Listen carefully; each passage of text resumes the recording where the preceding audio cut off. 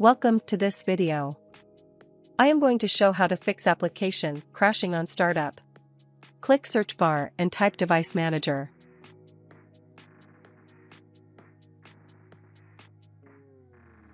Click device manager.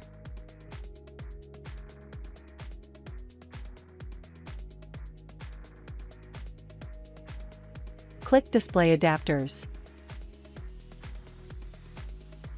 Select your display adapter. Right-click and update driver.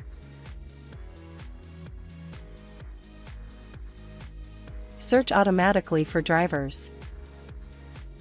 Wait.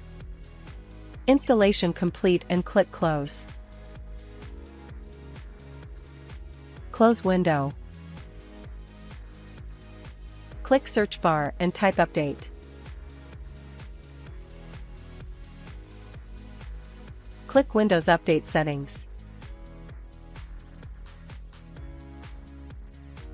Click Check for updates.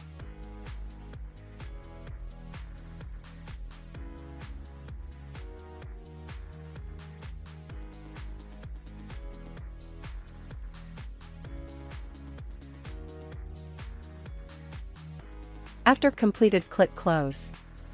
Right-click your not working application and click Properties.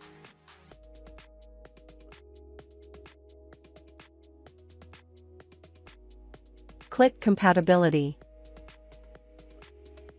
Check Run this program in compatibility mode. Try Windows 7 and Windows 8. Check Disable Full Screen Optimizations. Check Run this program as an administrator. Apply and OK. Try opening the app. If that didn't work, right-click Start menu. Open Task Manager. Click Startup. Disable Not Used Applications.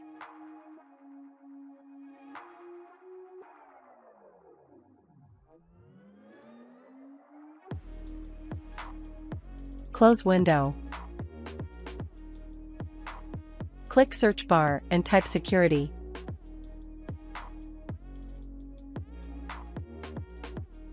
Open Windows Security. Click Virus and Threat Protection. Scroll down. Click Manage Settings. Scroll down. Click Add or remove exclusions. Add an exclusions. Try file and folder.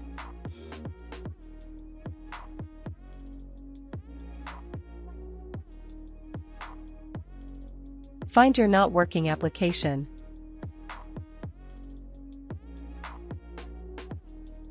Select and click Open.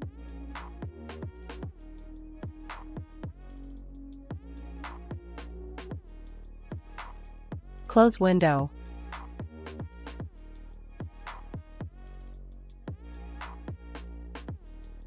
And restart your PC.